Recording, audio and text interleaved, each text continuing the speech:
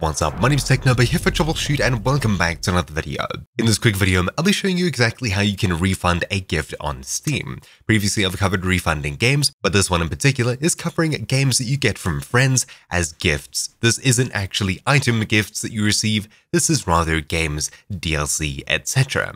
As you can see over here, I've received a gift from my other account. I'll go ahead and accept the gift, and now it's in my inventory. I can of course search for it and play it. However, I want to refund this. The simplest way to do so is inside of Steam is to head across to the Store tab on the far left. Then when you're on the Steam page, simply scroll all the way down to the bottom. Yes, this page does expand infinitely, but we're looking for this section here.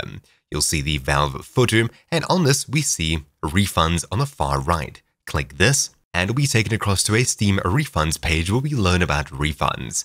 Simply click help.steampowered.com here. When you've done so, we'll be taken across to the Steam support page. Simply scroll down and you'll see recent products that you've played. Otherwise, you can scroll down further and click Games, Software, etc. Inside of here, we can search for the game in question. In my case, it's Bejeweled 3, so I'll click on this. And as you can see, it was received April 12th in a gift or trade. That's today, that's right now. This is the correct item. I'll simply scroll down and choose from any one of the issues down here. More than likely, you'll need to report a gameplay or technical issue, or it's not what you expected. If you click It's not what you expected, you can request a refund, and for some of the other options, you can request a refund too. Then scroll down, and you'll see this section here.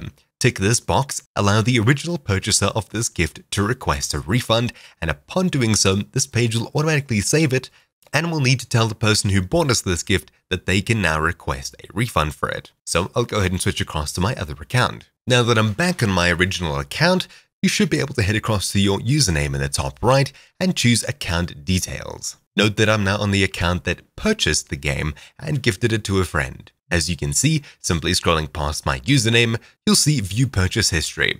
Click this and we'll see a game that we gifted to a friend. We can click this now and upon doing so, we see some info about the purchase. I've simply scrolled past some private information. All we need to do here is request a refund, and upon doing so, we'll be able to scroll down further, request a refund, and after giving them a reason over here, simply click Submit Request. When it's done, a request will be sent to Steam and it should be answered within a day or two, and you should get your money back to the method that you used to purchase this.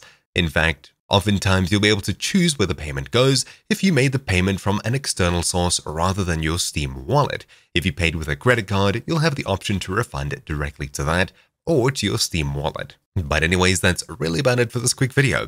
Thank you all for watching, my name's been Technobo here for TroubleChute, and I'll see you all next time. Ciao!